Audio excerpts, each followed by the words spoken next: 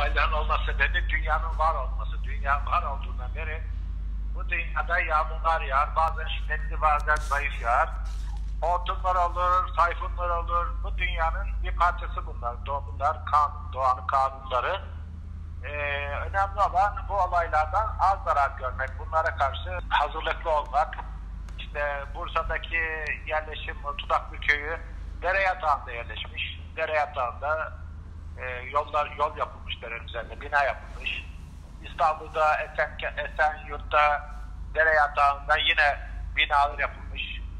E, binalardaki sığınaklar sonradan kiraya verilmiş, ev yapılmış. Bunlar tabii e, doğa, doğaya uygun yaşamamak, doğayı ciddiye dikkate almamanın sonuçları. Ya vatandaş olarak meteorolojik uyarılara dikkat etmek gerekiyor. Bu dere yataklarındaki binalardan uzak durmak gerekiyor. Dere yataklarından özellikle su basman seviyesi sıfır olan binalardan uzak uzak durmak lazım.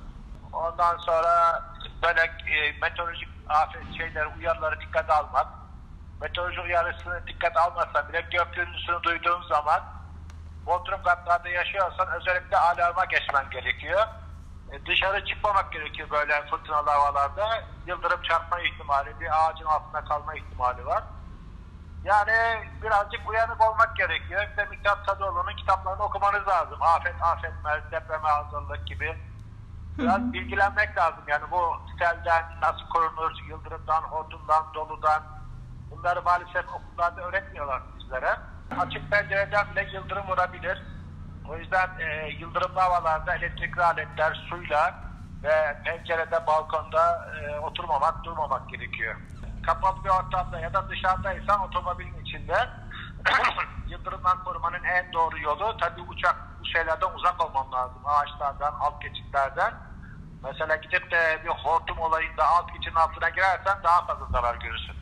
Yani çarpık kentleşme, ya olmayacak yerlerde bina yapılması, bodrum katları, su basman seviyesi kavramının içinin boşaltılmış olması e, burada en büyük problem. Türkiye'de bir su basman seviyesi problemi var binalarda. Binaların su basman seviyesinin e, su basmasına, su seviyesine göre mutlaka ayarlanması gerekiyor. Su basma seviyesinin altında yerleşim yeri bina daire o, o, olmaması gerekiyor. Buna müsaade edilmemesi lazım.